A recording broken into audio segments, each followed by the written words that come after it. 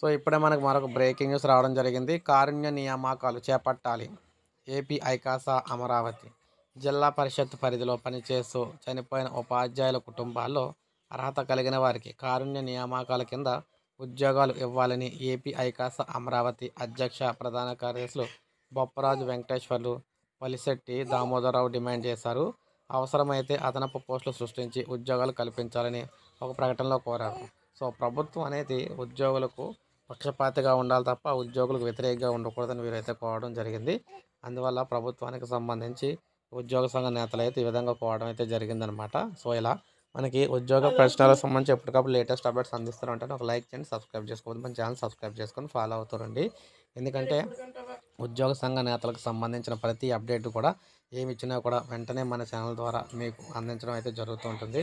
ఎంప్లాయీలకు సంబంధించి ఏకైక ఛానల్ అనమాట మాది. అప్డేట్ మనకి ఒక లైక్ చేయండి సబ్స్క్రైబ్ చేసుకోవద్దు మన ఛానల్ సబ్స్క్రైబ్ చేసుకోండి